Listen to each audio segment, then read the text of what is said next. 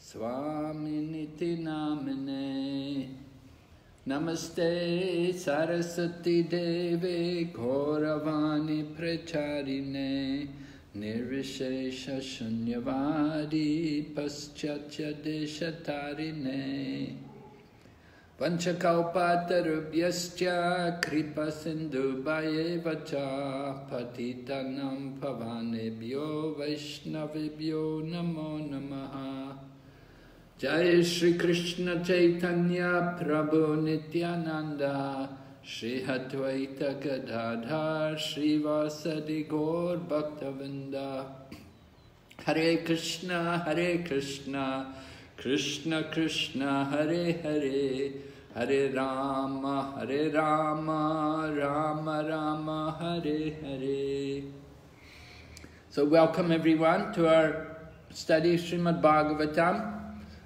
We're studying Canto 3, Teachings of Lord Kapila. And today we're on chapter number 31. This is studying at the level of Bhakti Vaibhav. So who remembers yesterday? What would be yesterday? We spoke about the mode of ignorance.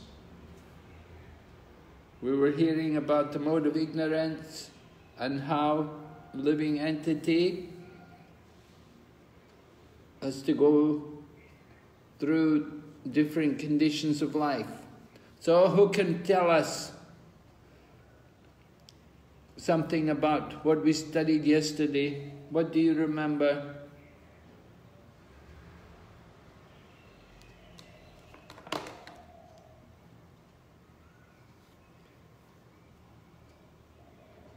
Sundarananda Prabhu. Sundarananda Prabhu, what do you remember from yesterday? We were describing the movements of the living entity.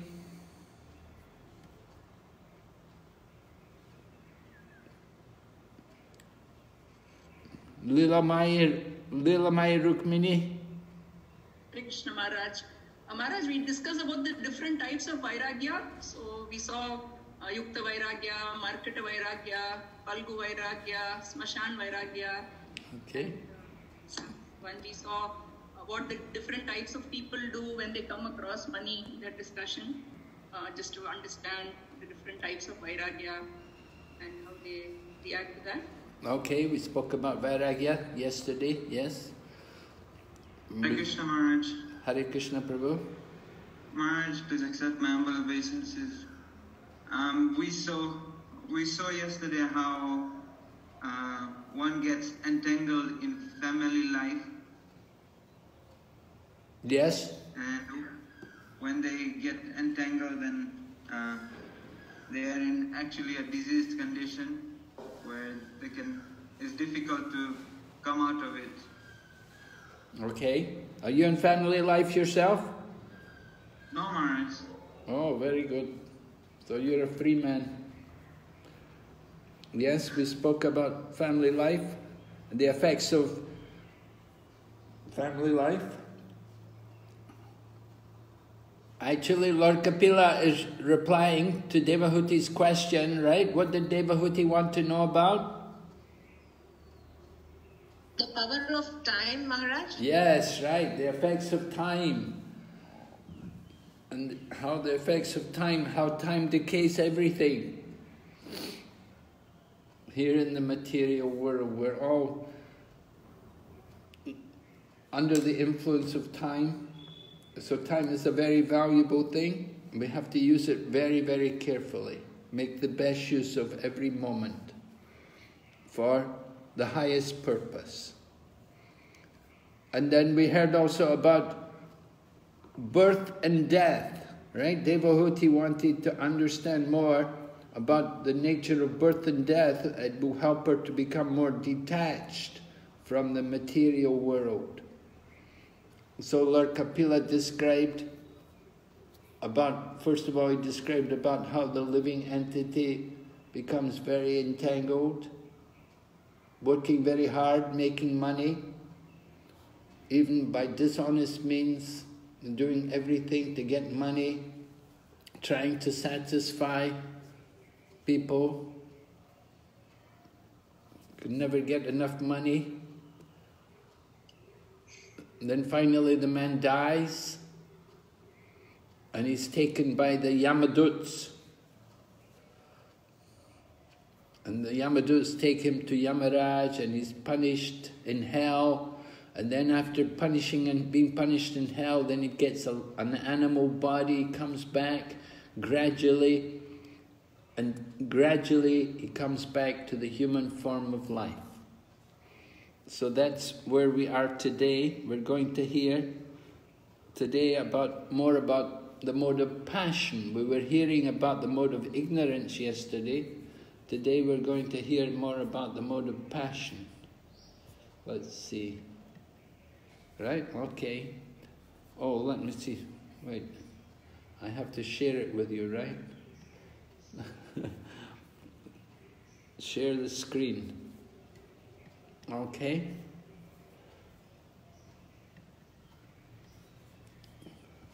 Is it all right? Are you clear? Yes, Maharaj. Yes, Maharaj. Good. Yes, Maharaj. All right. The movements. The movements of the living entities. Chapter 31. Let's glorify Srimad Bhagavatam.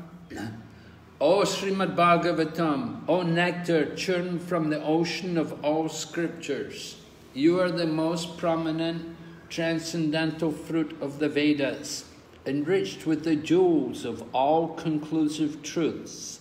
You grant spiritual vision to all the people of the world. O life breath of the Vaishnava devotees, O Lord, you are the sun which has risen to dispel the darkness of Kali Yuga. You are actually Lord Krishna who has returned among us. O Srimad Bhagavatam, I offer my respectful obeisances unto you. By your recitation, one attains transcendental bliss because your syllables shower pure love of God upon the reader. You are always to be served by everyone, for you are an incarnation of Lord Krishna. O Srimad Bhagavatam, O my only friend, O my companion, O my teacher, O my great wealth, O my deliverer, O my good fortune, O my bliss, I offer my respectful obeisances unto you. O Srimad Bhagavatam, O bestower of saintliness to the unsaintly, O uplifter of the most fallen, please don't ever leave me. Accompanied by pure love of Krishna, please manifest yourself in my heart and in my throat. Okay? So, we're going to begin the class today with a, a song. I'm not going to sing it, but we're going to read it. A very interesting song, very relevant to this topic, sung by, given to us by Bhaktivinoda Thakur. Beautiful Bengali poetry.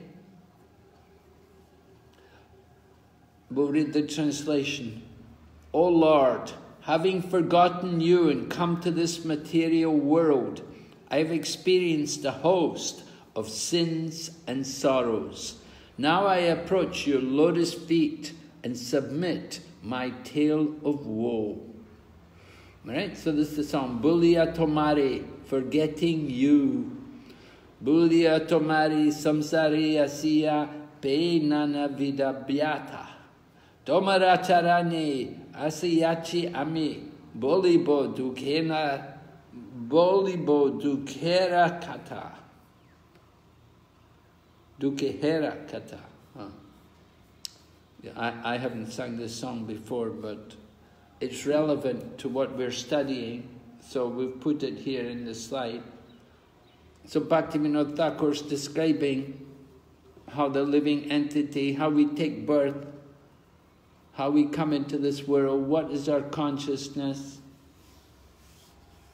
Bhaktivinoda says, When I was bound up tightly in the unbearable confines of my mother's womb, O Lord, you once revealed yourself before me. After appearing briefly, you abandoned this poor servant of yours.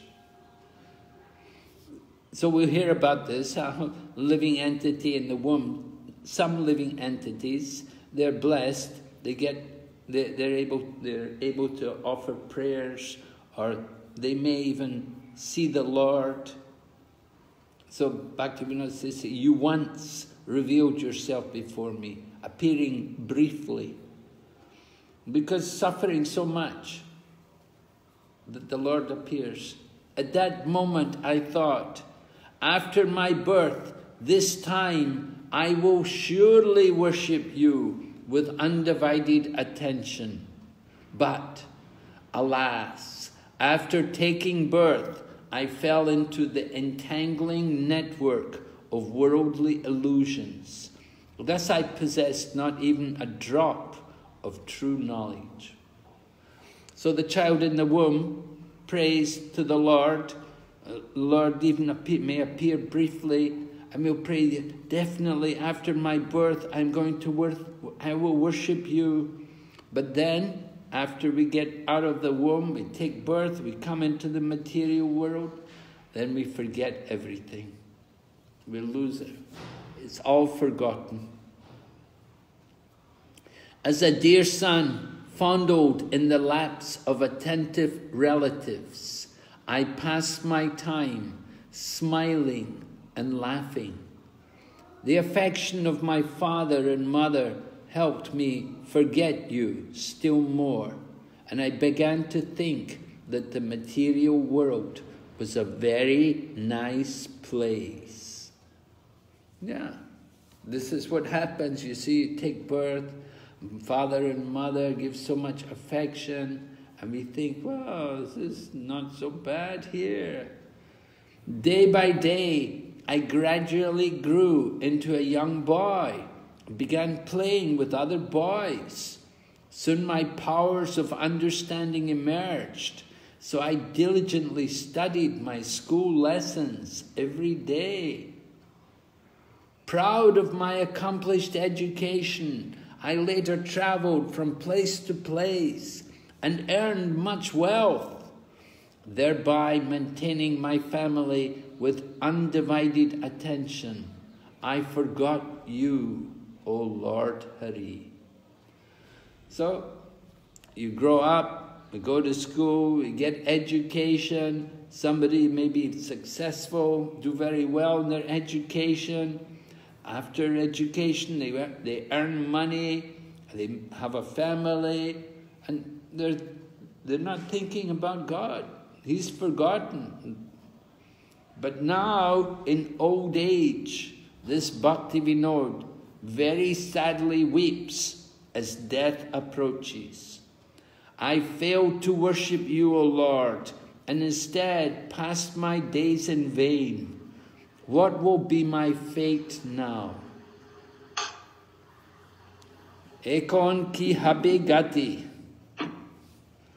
Nabajiatore dina brita jelo ekon ki habigati. What will be my fate now? Where will I go? This is the position of the living entity. Okay, so chapter 25, we heard from Devahuti, and Devahuti was in trouble. Her husband had gone away and left her. He's taking sannyas. Devahuti was very disturbed. She's left with her son. The daughters were all married, and she was left with her son, Lord Kapila.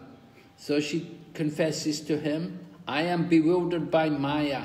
Please take away my illusion. So Lord Kapila instructs her. Of course, she also asks, What kind of bhakti should I perform to attain you? explain the process of Gyan and Yoga. How many limbs do they have?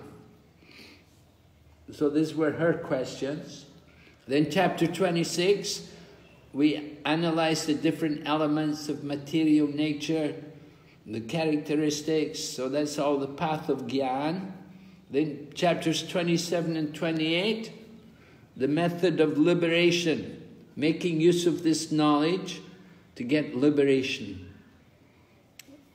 It was also explained the difference between the jiva and prakriti, the limbs of the Astanga Yoga, description of the Lord's pastimes, or description of the Lord's form for performing dharana, right? 28 was the Astanga Yoga. So you have to, we had to meditate on the different bodily limbs of the Lord. So, yam niyam, asan pranayam, pratyaharana, dharana, that's the sixth step. Dharana leads to dhyana and then samadhi. So dharana, concentration on the different bodily limbs of the Lord. Then chapter 29, we, Devahuti asks, tell me about the path of bhakti. And we spoke about the different kinds of bhakti and how people may be influenced by the modes of nature and doing bhakti. Bhakti, by bhakti done in the mode of passion, bhakti done in the mode of goodness, in the mode of ignorance. So Devahuti wanted to know also about pure bhakti. Pure bhakti, that's described by Rupa Goswami and Nectar of Devotion. So that was chap up to chapter 29. So, Devahuti continues. My dear Lord, please also describe in detail, both for me and for people in general, the continual process of birth and death. For by hearing of such calamities, we may become detached from the activities of this material world. So we're going to hear what happens at the time of birth, what happens even before birth, and what happens with death. Before death and after death, what happens? We heard a little yesterday, we heard about the Yamadutas coming, taking the soul to Yamaloka. We heard it's not very pleasant, so much suffering. The living entity suffers in the womb, suffers after birth, he suffers before death, he suffers after death. All suffering in this world. There's no happiness, but there's the illusion of happiness. So this is the problem. So Devahuti wanted to know about the process of birth and death. She said also, please describe eternal time, which is a representation of your form and by whose influence people in general engage in the performance of pious activities. Yeah, we see people do pious activities, especially in their older age. They know they're coming nearer to death. They want to leave, they want to do something good before they leave the body. So maybe they've made a lot of money, they've done a lot of sinful things, and they like to atone for their sins. They do some charity before they leave the world. So coming on to chapter 31, chapter 30 was describing the mode of ignorance. We're going to hear today about the mode of passion. And begins first of all, well, chapter 30 finished, the soul was going to take birth again. It came to the human form of life.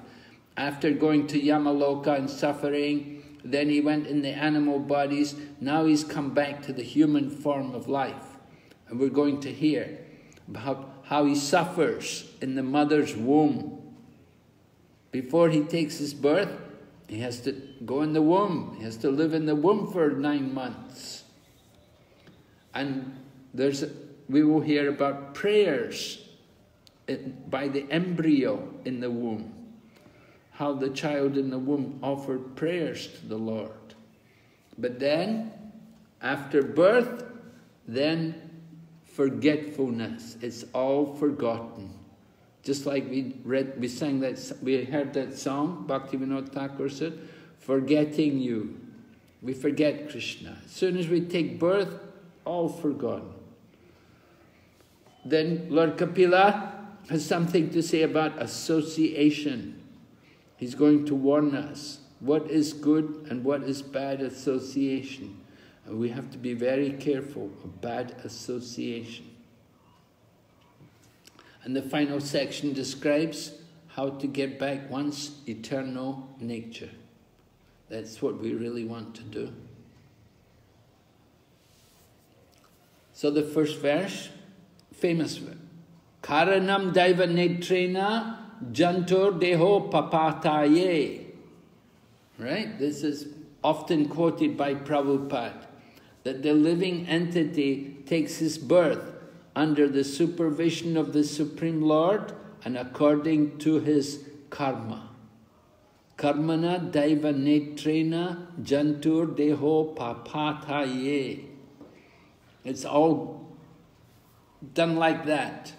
It's not by chance, but under the supervision and according to the results of our work, our karma.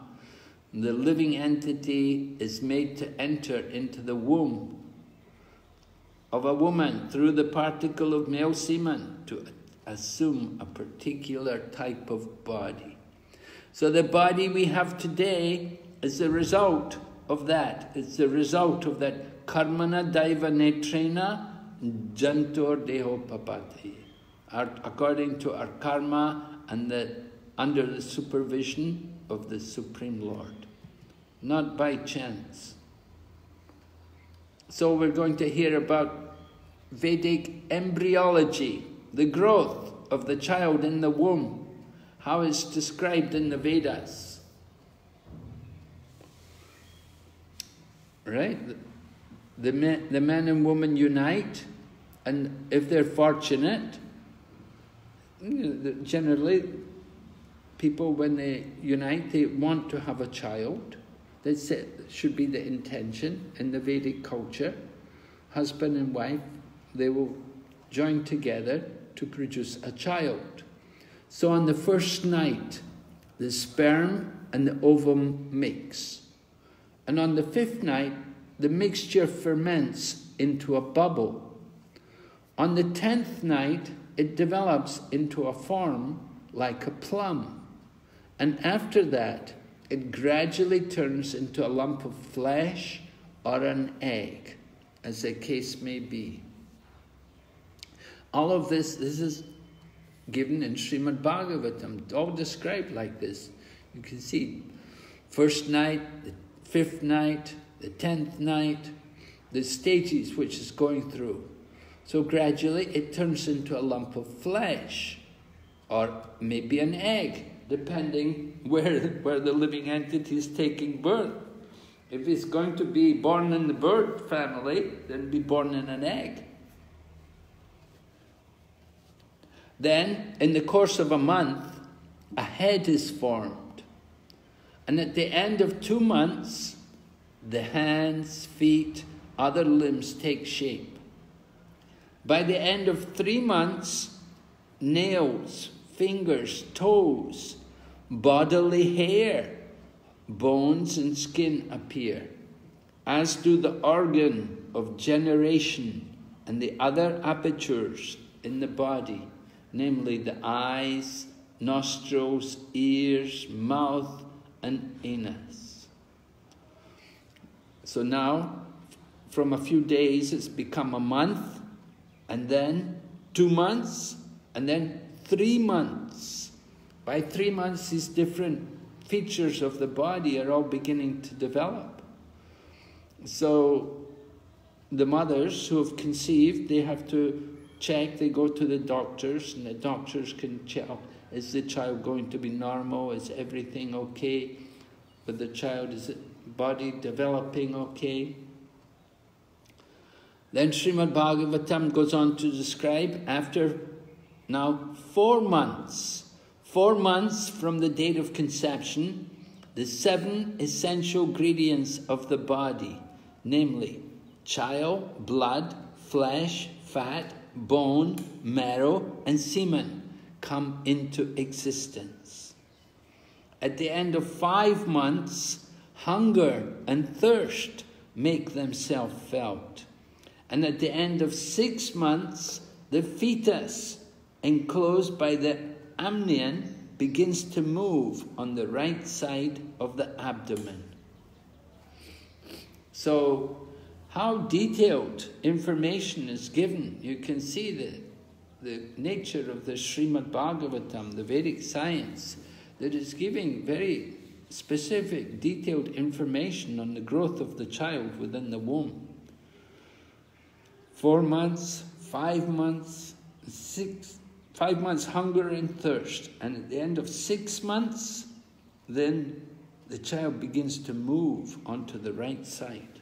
Of, so this is this information is all just given in Srimad Bhagavatam and it's a very powerful preaching tool to establish the authority of the Srimad Bhagavatam and the Vedas in general, and how Vedic science is related to modern science.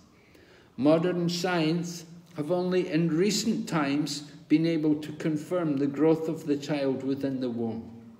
But the information which modern science got is almost exactly the same as the Vedic conclusions. There's no difference. We say, however, the first, the first, the Vedic version is based on scriptural revelation, whereas the latter, modern science, depends on empirical observation using microscopes, ultrasound, and last generation 3D scanning these kind of things. So, but the fact is, the advancement of modern technology broadens the limits of human sensory perception, simply come to confirm the authenticity of Vedic revelation. The Vedas have already taught us all this information. Only just recently, with all their technology, they were able to confirm the information which was already given there in our scriptures. So, this is very powerful preaching evidence to people that they wonder is, it, is this all true? Is this factual? Just like we tell them things like Lord Buddha, the appearance of Lord Buddha was predicted Lord Buddha came. So here, the development of the child within the womb, very powerful. We explain to people, chant Hare Krishna. By chanting Hare Krishna, you get free of passion and ignorance. You can come to the mode of goodness. Very important. Come to the mode of goodness. Get rid of the lower modes of nature. So gradually, people are beginning to have some respect for the Vedic culture, that this information is all given here.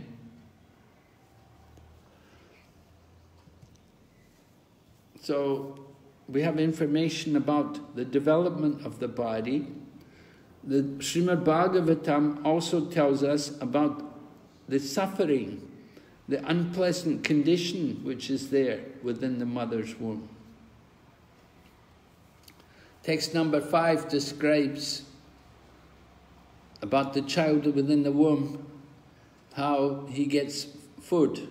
Because we said after five months he's feeling hunger and thirst. So the mother has to be careful that she's not feeding just one, she's not just feeding herself, she's also feeding the child within her womb.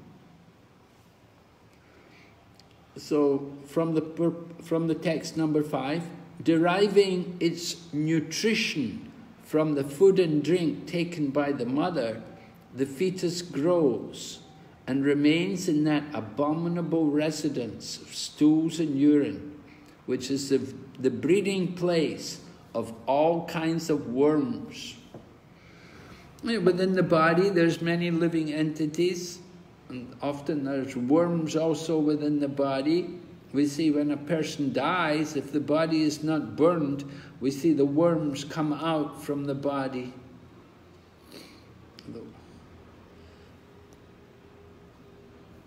Then text number six describes bitten again and again all over the body by the hungry worms in the abdomen itself. The child suffers terrible agony because of his tenderness. He thus becomes unconscious moment after moment because of that terrible condition. So, so much suffering the unfortunate child is within the womb in a very difficult condition, twisted, bent over, cannot move. And the skin, of course, the skin is very tender.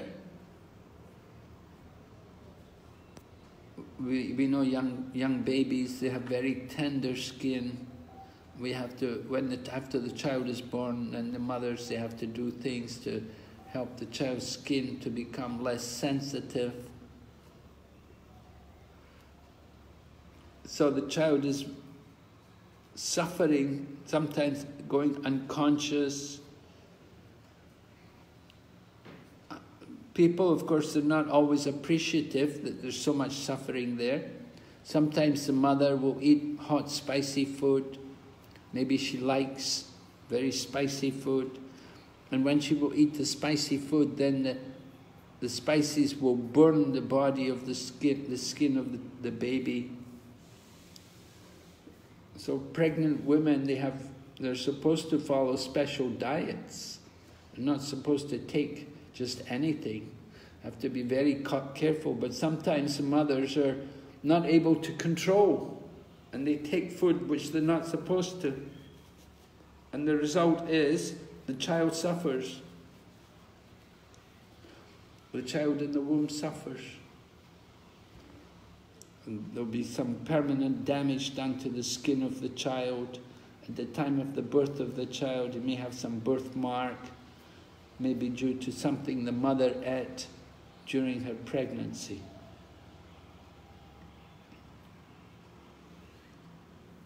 Described here, owing to the mother's eating bitter, pungent foodstuff or food which is too salty or too sour, the body of the child incessantly suffers pains which are almost intolerable. Material world is like that. So many pains. But people are not thinking suffering. One devotee came to see Prabhupada and he brought his mother. Uh, so the lady came in and she spoke to Prabhupada. She said, Oh, it's so hot outside. Oh, it's so terrible. And Prabhupada began to speak about how so much suffering is there in the material world.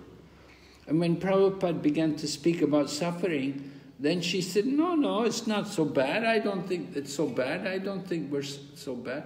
But then Prabhupada said to her, but just a few minutes ago, you were telling me you were suffering. And now you're saying it's not so bad. So this is what happens. This is the nature of the material world. That we're suffering one minute, but we get a little bit of enjoyment and we forget everything. A little comfortable and everything's, all the suffering is forgotten. This is the nature, material world little bits of pleasure. Lochan Das says, chapala sukha, just to get some flickering pleasure. We accept so much suffering.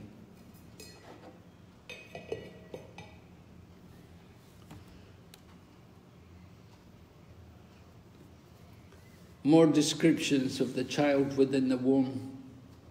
Placed within the abdomen and covered outside by the intestines the child remains lying on one side of the abdomen, his head turned towards his belly, and his back and neck arched like a bow. Back and neck arched like a bow, his head turned down towards his belly, very uncomfortable position. The child thus remains just like a bird in a cage, without freedom of movement. At that time, if the child is fortunate, he can remember all the troubles of his past 100 births, and he grieves wretchedly. What is the possibility of peace of mind in that condition? If there's no peace of mind, then there can be no happiness. There's no possibility of being happy if you don't have peace of mind. So no movement, very restricted. And then you remember the previous births. 100 births. This, these are not going to be human birth, but birth in many different species of life. So much suffering. Text number 10 says, Thus endowed with the development of consciousness from the seventh month after his conception, the child is tossed downward by the airs that press the embryo during the weeks preceding delivery. Like the worms born of the same filthy abdomen cavity, he cannot remain in one place. So this is the child getting ready to come out from the womb. He's tossed down. Should be in the right situation.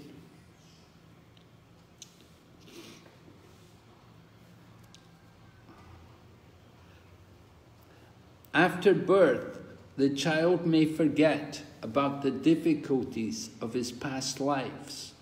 But when we are grown up, we can at least understand the grievous tortures undergone at birth and death by reading the authorized scripture like Srimad Bhagavatam. If we do not believe in the scriptures, that is a different question. But if we but if we have faith in the authority of such descriptions, then we must prepare for our freedom in the next life. That is possible in this human form of life. One who does not take heed of these indications of suffering in human existence is said to be undoubtedly committing suicide. Undoubtedly committing suicide. And uh, you've wasted the life. So we have to recognize these conditions, how much suffering there is in this existence, in the material world. And we should want to finish the suffering. No more birth and death. Right? This, this is the purpose of Krishna consciousness, bhakti yoga, to get us out from this world. We have to apply this knowledge. If we have to come back again, it means we have failed. Mukunda Maharaj edited that book, uh, Coming Back, The Science of Reincarnation. The last chapter is called Don't Come Back. We don't want to come back. That is the real purpose of Bhakti Yoga. No more birth. Prabhupada asked the devotees, what is the most important verse in the Bhagavad Gita? What verse do you think they said? Anybody like to guess?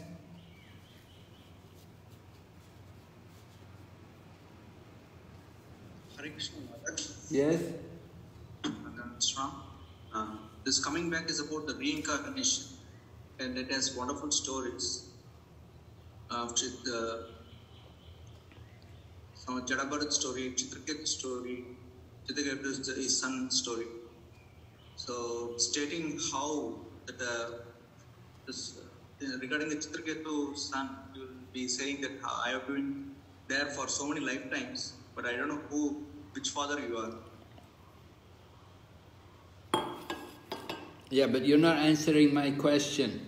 What is the most important verse in the Bhagavad Gita?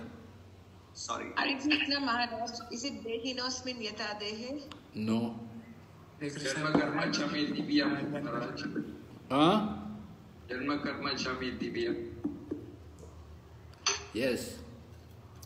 That's right. Janma karma chame divyam. Why is it the most important verse? Hare Krishna Maharaj because Punarjanmana Vidyati Right. because uh, we will not come back to this material world again. That's right. Very good. Yes. One who understands Krishna's birth and activities to be transcendental, then upon giving up this body, they never have to take birth again. So that is the goal. We want to achieve that. We don't want to continue the suffering in this human existence. That's the point. It is said that this human form of life is the only means for crossing over the nescience of Maya, or material existence. We have a very efficient boat in this human form of body, and there is a very expert captain, the spiritual master. Scriptural injunctions are like favorable winds. If we do not cross over the ocean of the nescience of material existence, in spite of all these facilities, then certainly we are all intentionally committing suicide. Yes, great waste if we don't take advantage of the facilities. The scriptures are there, the guru is are there, the boat is there, we have the boat, we have the association, we have everything we need. We just need to apply the process. If we don't take advantage, it's just like committing suicide. This is from text number nine. Okay, coming into the chapter, hearing about the living entity in the womb. The living entity in this frightful condition of life, bound by seven layers of material ingredients, prays with folded hands, appealing to the Lord who has put him in that condition.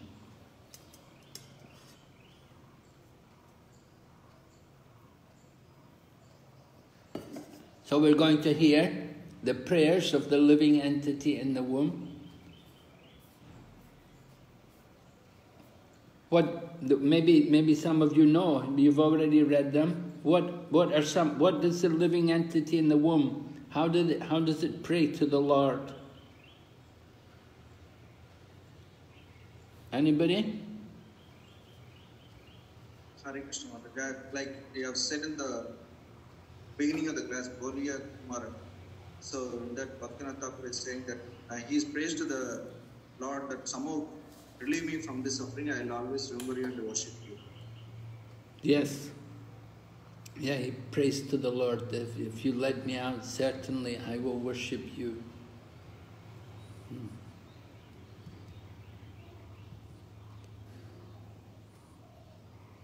Text number 12 says, The human soul says, I take shelter of the lotus feet of the Supreme Personality of Godhead, who appears in his various eternal forms and walks on the surface of the world. I take shelter of him only because he can give me relief from all fear, and from him I have received this condition of life, which is just befitting my impious activities. So this is a very enlightened human soul who's praying like this.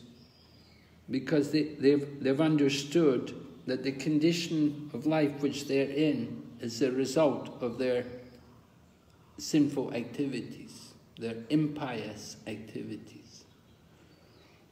And they're recognizing also the Lord, that He appears in various eternal forms and He walks also on the world. Text 13 goes on I, the pure soul, appearing now bound by my activities, am laying in the womb of my mother by the arrangement of Maya. I offer my respectful obeisances unto him who is also here with me, but who is unaffected and changeless. He is unlimited, but he is perceived in the repentant heart. To him I offer my respectful obeisances. So the soul is pure, but we're put into these unfortunate conditions by the arrangement of Maya. Forgetting Krishna, right? We forgot Krishna, so we come in contact with Maya. We come under the control of Maya. But the living entity remembering the Lord. I offer my obeisances unto him, who is also here with me, but who is unaffected and changeless. Just like we were asked yesterday, does the super soul also go to hell with us? When we go to hell, is the super soul Paramatma also? Yes, he's also there, but he's unaffected. He's changeless. He is unlimited, and he is perceived by the repentant heart. We should be repentant. We should feel very so sorry that we have come into this material world and that we've been so neglectful, we've been so sinful, we've wasted so much time when we did not worship Him. Text 14 I am separated from the Supreme, from the Supreme Lord because of my being in this material body made of five elements, and therefore my qualities and senses are being misused, although I am essentially spiritual. Because the Supreme Personality of Godhead is transcendental to material nature and the living entities, because he is devoid of such a material body, because he is always glorious in his spiritual qualities, I offer my obeisances unto him. So these are very enlightened prayers. You can see he's understood the position of the Supreme Lord, how he's completely transcendental to everything, and how he's misused his own senses. But he understands himself also to be spiritual, that he's also a soul.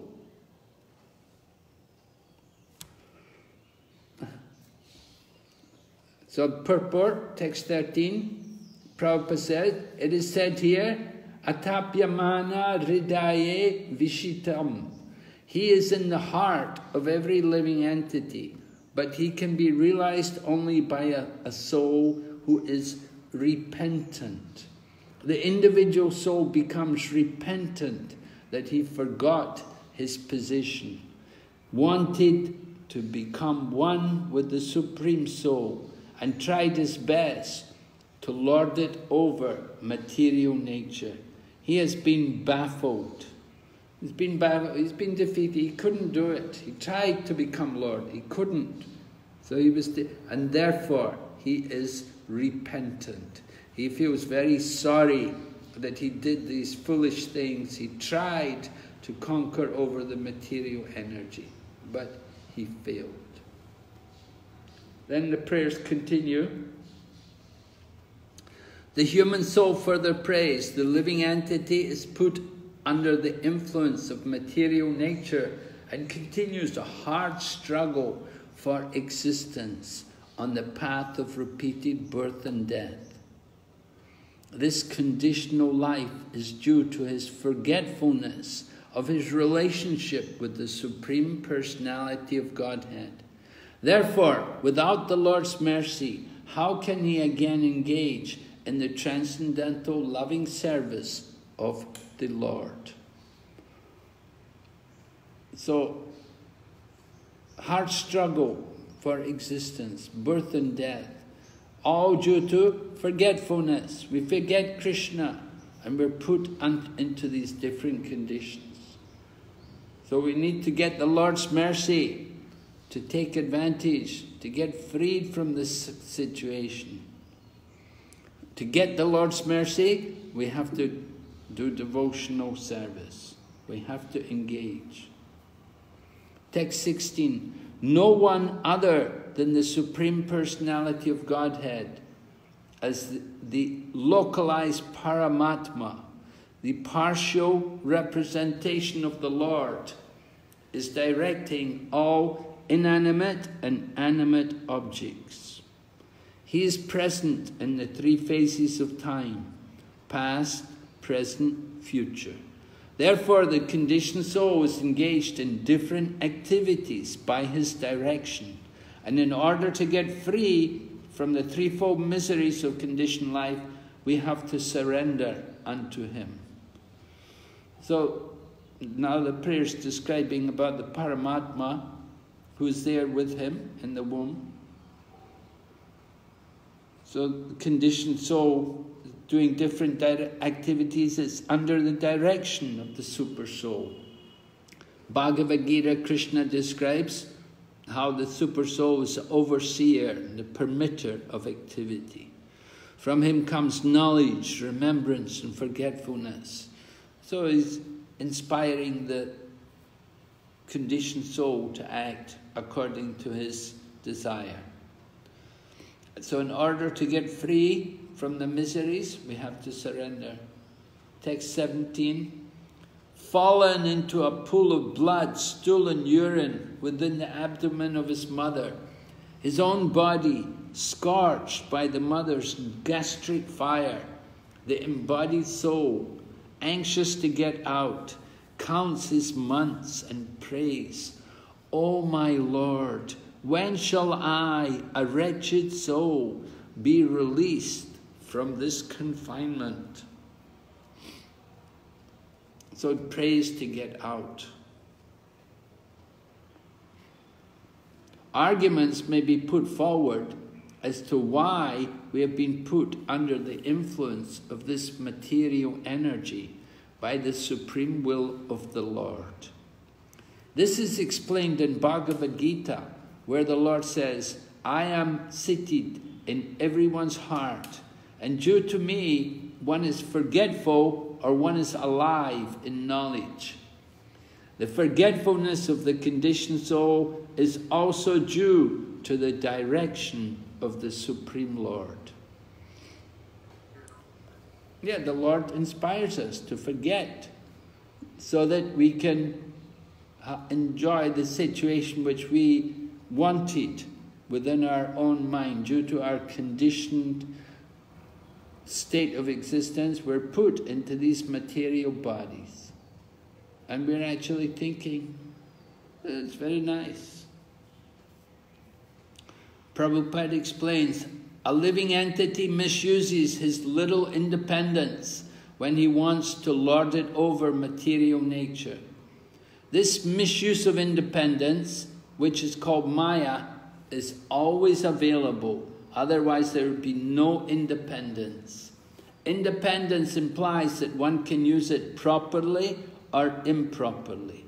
It is not static, it is dynamic. Therefore, misuse of independence is the cause of being influenced by Maya. Right? Independence. Prabhupada said proper or improper. What is proper use of our independence? Someone like to describe for us? Service of Krishna. Yes, independence means to take shelter of Krishna. That's proper use. And improper use? We use our uh, for enjoyment, of material enjoyment. Yes, to forget Krishna. So we have that choice every time. Prabhupada said, Maya is so strong that the Lord says it is very difficult to surmount her influence. But one can do so very easily if he surrenders unto me. Anyone who surrenders unto him can overcome the influence of the laws of material nature. It is clearly said here that a living entity is put under the influence of Maya by his will. And if, we, if one wants to get out of this entanglement, can be made possible simply by his mercy. So, we want to get free of Maya, we have to get the mercy of Krishna. Maya is under is Krishna's energy. So if we surrender to Krishna, then Krishna will release us from the energy. We just have to make proper proper use. Text 16. As the supersoul is seated within the heart of the living entity, when the living entity is serious, the Lord directs him to take shelter of his representative, a bona fide spiritual master.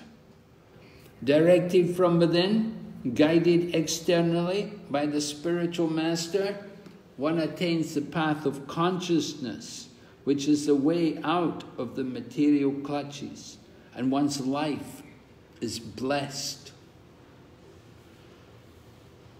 So, like that, we're in the womb, we're in this miserable condition, the super soul is there with us, and when we take shelter of the super soul, then the Lord can direct us to make it so much easier for us on this path.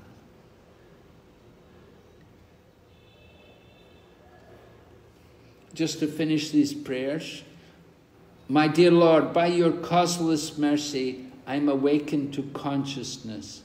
Although I am only 10 months old, you understand 10 months from the day of conceiving within the womb, people think that, oh, the child is not born yet, so it's okay, we can kill it. But here in these prayers, the beginning of the life of the child is from the time of conception. So the child is 10 months old. For this causeless mercy of the Supreme Personality of Godhead, the friend of all fallen souls, there's no way to express my gratitude but to pray with folded hands. 10 months old, so in other words, now it's time for the child to come out of the womb. So he's praying with folded hands. Text number 19. Living, the living entity in another type of body sees only by instinct. He knows only the agreeable and disagreeable sense perceptions of that particular body. Animals like that, they, can, they, they, they don't have the same facility as we have in the human body. But he describes here, but I have a body in which I can control my senses and can understand my destination. Therefore, I offer my respectful obeisances to the Supreme Personality of Godhead, by whom I have been blessed with this body, and by whose grace I can see Him within and without. So, the living entity in the womb was fortunate. He was able to see the Lord within. And he understands the special benefit of having the human form of life, that it's an opportunity to actually perfect his existence.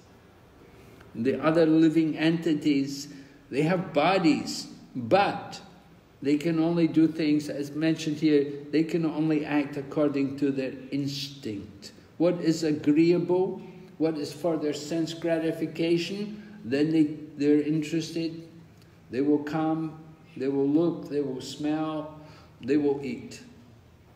right? And if they don't like it, then they'll find something else. Text number 20. Therefore, my Lord, although I am living in a terrible condition, I do not wish to depart from my mother's abdomen to fall again into the blind well of materialistic life. Your external energy called Deva Maya at once captures the newly born child and immediately false identification, which is the beginning of the cycle of continual birth and death, begins.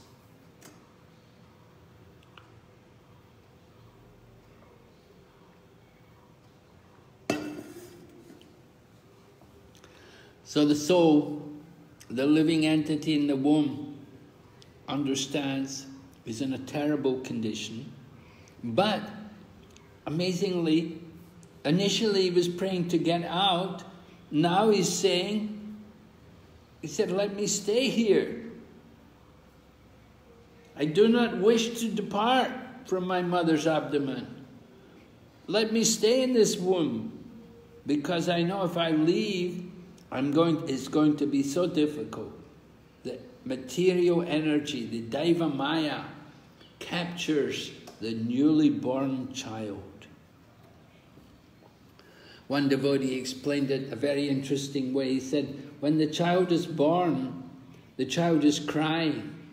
All the people are happy. The mother's happy, the father's happy, the, the relatives are all happy, child has been born. But Child is crying because child knows, oh, I've taken birth again. Again, a material body. Again, misery. And at the time of death, at the time of death, when the person is dying, all their relatives, the family, friends, everything, they're crying. And the person who's dying, he's happy, he's going. I'm going now, I'm leaving this body bye-bye, I'll see you another time, some other place maybe. And so at the time of death, the situation is reversed. The family who were so happy at birth, they're crying at death. And the soul who was taking birth, who was crying, he's happy when he dies. He's happy because he's thinking, I'm getting free of this material body. I'm getting free of all the miseries and all the problems which have been coming with this material body. So that's the benefit. Take birth again. Of course, we don't want to take birth again, but just to get free of one body, great relief. Prabhupada explains this prayer of the child in the womb may be questioned by some atheistic people. How can a child pray in such a nice way in the womb of his mother? But Prabhupada explains, everything is possible by the grace of the Supreme Lord.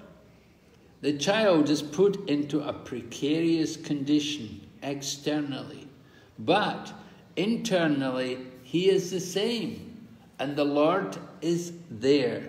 By the transcendental energy of the Lord, everything is possible. Hmm. Atheistic people, they can't accept, but a devotee can understand this very easily. And certainly the child is going to be praying. Whenever we're in danger, whenever there's a big problem, we pray. Even as children, when we had the exam results, we would pray, Oh, Krishna, give me a good mark. Whenever there's danger, we pray. Radhanath Swami describes there was a danger of an earthquake in the temple in Mumbai some years ago. So all the devotees rushed out of the temple and they were all chanting outside. And he said it was the best chanting they ever did.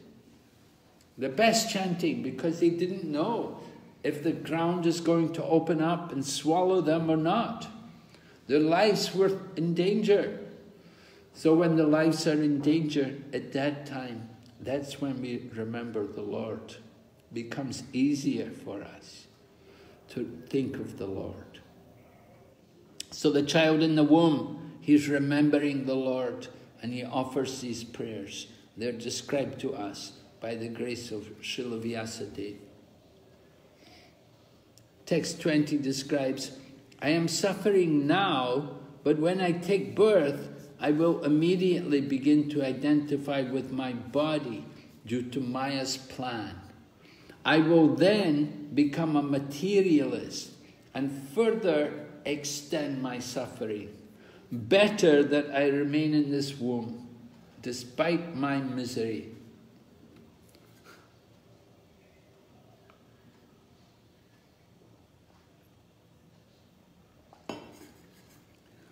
Better just stay where I am.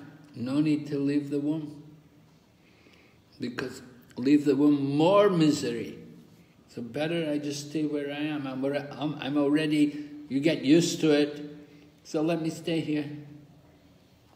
We know Sukadeva Goswami was an impersonalist and he stayed in the womb of his mother for uh, 16 years before he took birth. And he only came out because he was convinced by hearing Srimad Bhagavatam.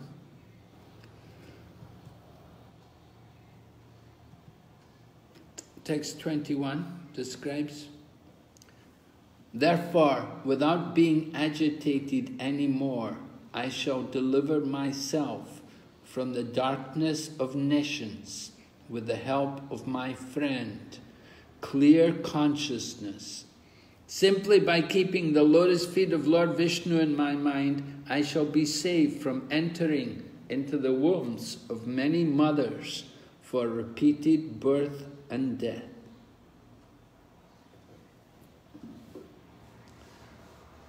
So the, the important instruction is here.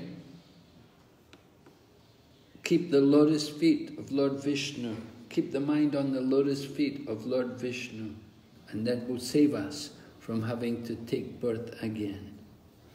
So that attitude, that consciousness is very important. Always remember Krishna, and if we can remember Krishna in the womb, then that's very great help. You don't need to take birth again. So one may wonder that how we can worship the Lord in the womb. We don't have any paraphernalia. But Srila Prabhupada explains here from the purport, text 21, one does not need any material arrangement to cultivate consciousness. One can cultivate consciousness anywhere and everywhere, provided he can always think of the Maha Mantra. Hare Krishna, Hare Krishna, Krishna Krishna, Hare Hare, Hare Rama, Hare Rama, Rama Rama, Hare Hare. Can be chanted even within the abdomen of one's mother. One can chant while sleeping, while working, while imprisoned in the womb, or while outside.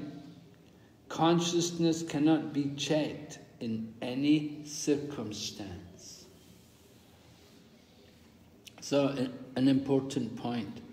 We can't, we shouldn't think that, oh, I can't chant here, oh, I can't remember Krishna here, oh no, I'm, I'm in this situation, it's not, not good, not easy, I can't remember Krishna here.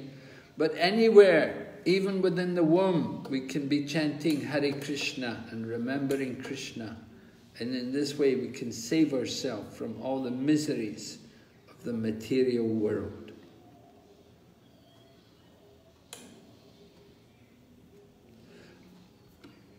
Text 22, Lord Kapila continued, the 10-month-old living entity has these desires even while in the womb. But while he thus extols the Lord, the wind that helps partur, partur, parturition propels him forth with, with his face turned downward so that he may be born. So the child has to come out of the womb a particular way. He has to come down head first, come out head first, And so Krishna arranges all this, special air in the body which forces the child to come down. Text 23, pushed downward all of a sudden by the wind, the child comes out with great trouble, head downward, breathless, and deprived of memory due to severe agony. So, Srimad Bhagavatam tells us this condition at the time of birth. Head down, breathless. Child's born, the, sometimes the doctor has to take the child and slap it, spank it to get some air into to get the child to start to breathe. Because the child has no breath. And the memory is gone, because it's such a fearful situation that everything is forgotten. Such a terrifying, difficult situation that memory just goes. And this way the child is coming into the material world.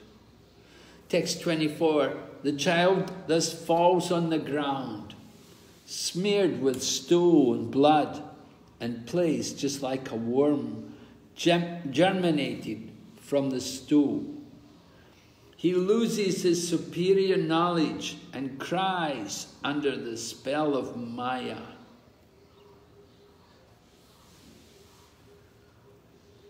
So the child comes out of the womb and everything is forgotten. Memory is gone, just crying. This is, well, he said, the people are happy, the child is born, but the child is not happy, the child is crying. He knows, oh, another birth. Again, I've taken birth in this material world. Text 25 describes, after coming out of the abdomen, the child is given to the care of persons who are unable to understand what he wants. And thus, he is nursed by such persons. Unable to refuse whatever is given to him, he falls into undesirable circumstances. Because a little baby, a little child, so whatever is given to him, he has to take. So the mother will give some bitter medicines. The child doesn't want medicine. There's nothing wrong with the child, but the mother thinks, I have to give the child this medicine to help his digestion. And she feeds him some bitter, horrible tasting medicine, and the child cries. And the mother thinks, oh, it's healthy, he's crying, his lungs will expand. It's often like that. This is at the time of birth and similarly at the time of death, similar situation. Before people are given all kinds of things, they may be given things to eat. They don't want them, but somehow they're, they're fed into them by force. Text 26, laid down on a foul bed, infested with sweat and germs, the poor child is incapable of scratching his body to get relief from his itching sensation, to say nothing of sitting up, standing, or even moving.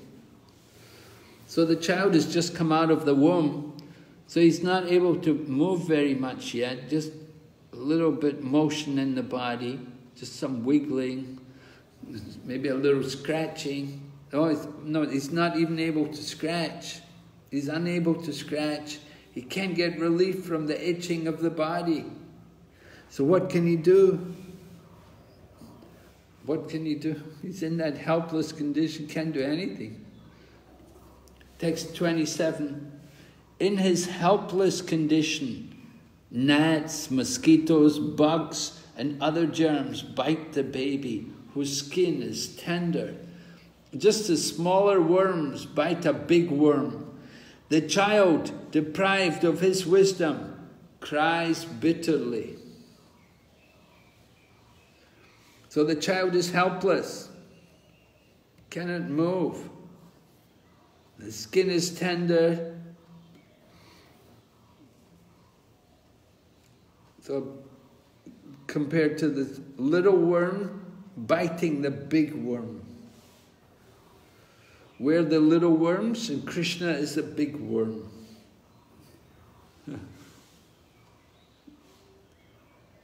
But within the material body, you do have worms living there. We try to avoid them. We don't want to become a worm ourselves. A bookworm. Read the books. The child, deprived of his condition, of his wisdom, cries bitterly. In this way, the child passes through his childhood, suffering different kinds of distress, and attains boyhood. In boyhood also he suffers pain over desires to get things he can never achieve. And thus, due to ignorance, he becomes angry and sorry. So, child begins to grow, comes to boyhood, and he has desires. He wants to do things, he wants to achieve things. Just like the young boys, you know, they often want to be sportsmen. Some young boys, they want to be football players. Some young boys, they want to be uh, basketball players. One devotee was telling me how in, in USA there was this one young man he knew, he said the young man, he, he really wanted to be a basketball player, but he was, he was very small in height. so basketball players, they're all gigantic people. They're all like six foot plus. And he was like five foot, maybe one or two inches. He was a small sized man. And he was thinking to be a basketball player. He was always playing with a ball, basketball, always practicing basketball. how, how could he ever be a basketball player? It's impossible. And so this is what happens. Young children, they have these desires, they want things, things they can never get. And this way they become sorry, they become angry. So Prabhupada explains, not only children, but also elderly persons should be very careful to protect their sense of Krishna consciousness and avoid unfavorable circumstances so that they may not forget their prime duty.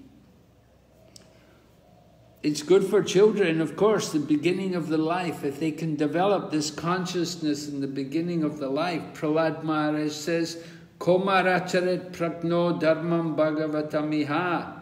From the beginning of life, Kumar, develop your Krishna consciousness. But old people also must be very careful because we know time is coming to an end. We have to leave the body. We have to protect our Krishna consciousness. We should only do things which are in relation to Krishna. Don't deviate from Krishna consciousness. Remember our duty. Save ourselves from Maya. Jiva Goswami explains, not all children in the womb pray. Only some children will offer prayers. Don't think that every child in the womb is going to pray to Krishna. It won't happen. There, but there are some pious souls who, due to their previous lifetime, they had the consciousness to pray. They had the habit to pray. So these kind of children, these kind of living entities, who already had the habit of prayer, they take birth in the womb and they will pray. They will pray to the Lord. Not every child in the womb is praying to Krishna. But special children, special children. Text 29. With the growth of the body, the living entity, in order to vanquish his soul, increases his false prestige and anger, and thereby creates enmity towards similarly lusty people. So the material world is being described. You grow up, you have some, may have some friends, but you have also some en enemies. Because you have pride, you have some also anger, and you make enemies, and you have difficulties dealing with people. Problems come. Conflicts. The material world always full of so many conflicts. Threat of war, globally, internationally, community-wise, always so many troubles. Text 30, by such ignorance the living entity accepts a material body made of five elements as himself. With this misunderstanding, he accepts non-permanent things as his own and increases his ignorance in the darkest region. So the non-permanent, what is non-permanent? The, with the non-permanent things, everything we possess, our home, our car, our bank balance, it's all non-permanent. And even our body is not permanent. But we accept it as our own. We're thinking, this is mine, this is mine. What is ours? Nothing is ours. Text 31, for the sake of the body, which is a source of constant trouble to him, and which follows him because he is bound by ties of ignorance and fruitive he performs various actions which cause him to be subjected to repeated birth and death. So this is the problem, material life. Due to ignorance and fruitive activity, we want to enjoy, we want the fruit, we want to enjoy the results of our work and he will perform activities which are sinful, which will cause him to take birth again in the material world. A source of trouble, more trouble, more births in the material. So, due to bad association, text 32, if therefore the living entity again associates with the path of unrighteousness, influenced by sensually minded people engaged in the pursuit of sexual enjoyment and the gratification of the palate, he again goes to hell as before.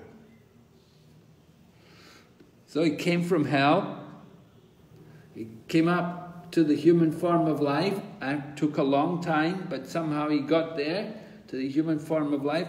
We've got the chance now what are we going to do? Are we going to go back again through all the hell? Are we going to get out? It's our choice, but we get the result of our work. If we become lusty and sensual, we will have to go to hell. So we're warned, be, beware of bad association. If one aspires to reach the culmination of yoga, and has realized his self by rendering service unto me, he should never associate with an attractive woman. Right? For such a woman is declared in the scriptures to be the gateway of hell to hell for the advancing devotee. Now, for you ladies who are listening here, you ladies, you should read wherever it says woman, you should read man. One should never associate with an attractive man, for man is declared in the scriptures to be the gateway to hell for the advancing devotee. We have to recognize, this is a very powerful section in the Srimad Bhagavatam, very, very powerful. Lord Kapila's warning about the danger of the illicit connection with the opposite sex. And it's very good to hear it and to read it again to understand. Lord Kapila says, just try to understand the mighty strength of my Maya in the shape of woman or in the shape of man, who, by the mere movement of her or his eyebrows, can keep even the greatest conquerors of the world under her grip or his grip. Very powerful. Maya, the opposite sex, the attraction to the opposite sex. We're all under the spell of the attraction to the opposite sex. Lord Kapila said, just the movement of the eyebrows. And the, and the other member is, whoa, they're bewildered. So Lord Kapila warns the trap of family life. The woman, or maybe man, created by the Lord, is a representation of Maya. And one who associates with such Maya, by accepting services, must certainly know that this is the way of death, just like a blind well covered with grass. Just like there's a well in the countryside, in the fields, they often they make a well in the ground and they cover it, they just put some maybe little pieces of wood, a bit grass over it. They don't really take care. And so people can easily fall in and it's like death. Sometimes they fall into the well. There may be no water even in the bottom of the well. So it's just like death. How to get out. So the association with the opposite sex is like this. You get very attached. That you want to remain in that condition. You want that companionship, that company. We become very absorbed in that company with the opposite sex. But it's not good. It's not good for our Krishna consciousness. You have to be very careful very, very careful. So Srimad Bhagavatam warns us, beware of Maya in the form of man or woman.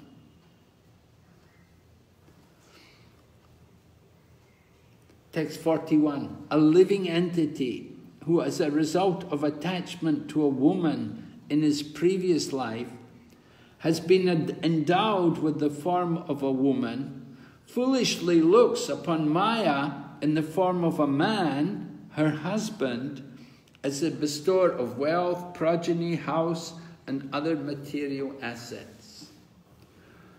So Lord Kapila is describing the woman. How did she get the woman's body? You have a woman's body today. Why do you have a woman's body? Because in your previous life, you were a man and you were attached to a woman. So because you were a man in your previous life and you were attached to women, you were thinking about women. And, the result is you become a woman in the next life, right? You become a woman. So this, this is um, and when you become a woman, then the woman is thinking, I want a husband. So the woman who'd been a man in her last life, now she's looking for a husband. So this is Maya. And she's thinking, she's thinking the husband will give me money, he'll give me children, he'll give me house, he'll take care of me. But we should understand that is very temporary. It's not going to last very long. Husband's going to give you a home. How long is it going to stay with you? Husband also has a material body. He's also going to die one day. He's going to give you children. They're not going to stay with you. They grow up, they go away. He will give you money. That money has less and less value every day. So many problems. Text 42. A woman should therefore consider her husband, her house and her children to be the arrangement of the external energy of the Lord for her death. Just as the sweet singing of the hunter is death for the deer. So the hunters, they will use something like that. They will make some sweet sound to attract the deers. And the deer will hear the sweet sound and they will become still. And in this way the hunter comes and he can kill the deer and take the deer. Very bad. So a woman should consider her husband and her children to be the energy of the Lord for her death. They are Krishna's Maya, just to keep her in illusion. And Lord Kapila gives the example, just like the, this deer is captured by the sweet singing in the forest. So we don't want to get captured. First of all, you get the spouse, and then you get the children, and then you get the house, and this way you become very, very attached. And because we're very attached, very difficult to make spiritual advancement. All right? So now we're going to have a little group exercise. I've been talking a lot. So, we want how many people have we got here today? 59 devotees, Maharaj. 59 devotees. Oh my God. 30, 39. 39, okay. Okay, so 39, 40, that's about uh, one, two, three groups, uh, uh, three, could be six, four, five people in a group, right? Can you make groups of five?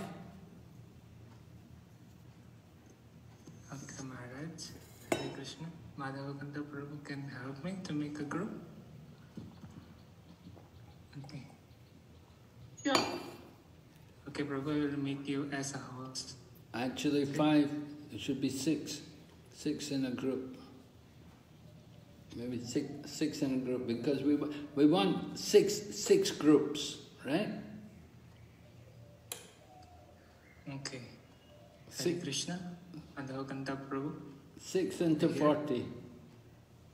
Yeah, bro, one minute. I'm, I'm trying to do it. Uh, okay.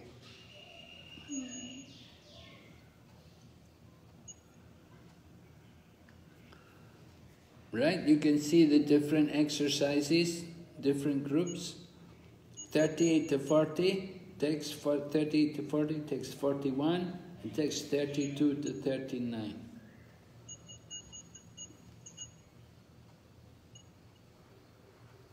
We want you to discuss and explain to us, right? Maybe maybe we won't hear from every we won't hear from everybody today. Well, we will. We've still got time. Yeah. Okay. We'll give you 10, 15 minutes to discuss this. Have you made six groups? So group one will be Jagannath group. And group two will also be Jagannath group. And group three and group four will be Baladev group. And group five and group six will be Subhadra group. Right? So group one and two, association of women as the gateway to hellish life. Dis discuss. Let me hear what's your conclusion. Baladev group, the body of a man has greater opportunity to get out of the material clutches. You have to discuss. Let's hear. What is your conclusion? Subhadra group. Women are the wonderful creation of Maya to keep, to keep the conditioned soul in shackles. Discuss. Base 32 39.